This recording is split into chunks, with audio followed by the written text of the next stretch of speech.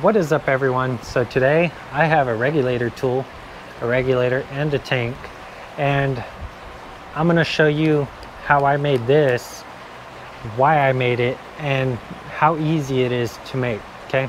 So let's get into this review and see what it's all about. So as you all know, buying a Ninja regulator tool uh, to torque it down and take it off is way out of the price range. I mean, I think they were like somewhere around 150 bucks, okay? Buying another brand, I think it's like aluminum, it looks like this. Uh, that's gonna set you back around 50 bucks or something like that.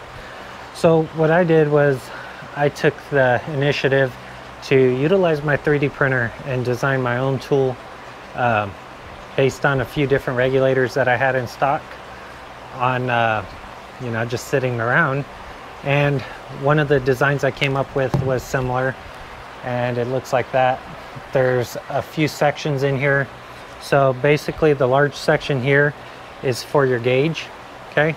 So it's gonna go in like this. Uh, the section on this side is for your 5K uh, blow off little disc, burst disc. And then on this side here, you're gonna have the 1.8K burst disc. As you can see, they're offset. So that means your design is gonna have to be offset, okay?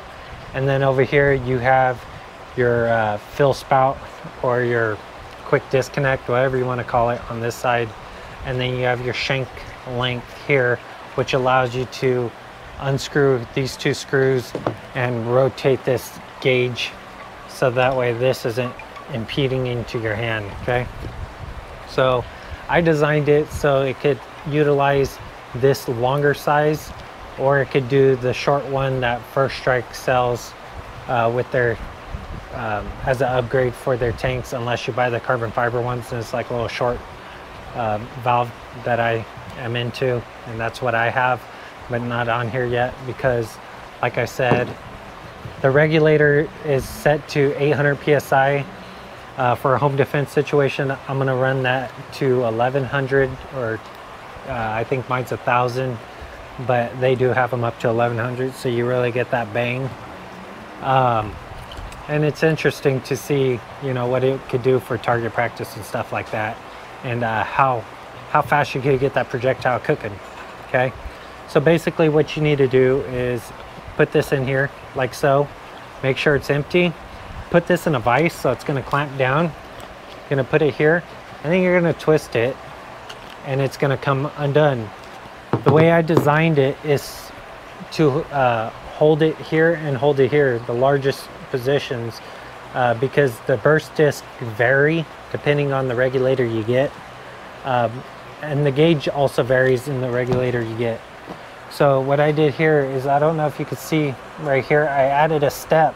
So I added an extra wide gap for a larger uh, regulator, uh, the gauge.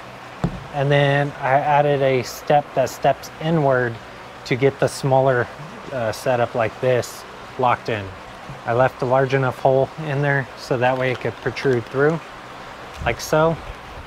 And then you could unscrew it. So that's a way to get around purchasing one of these expensive uh, regulator tools and save you 50 bucks or more, okay? So that's gonna complete today's video. If you like this video, definitely give it a thumbs up. If you wanna see more content like this and other content, I'll be posting in the near future. Consider subscribing. Thanks for watching. Until next time, I'll see you all in the next one.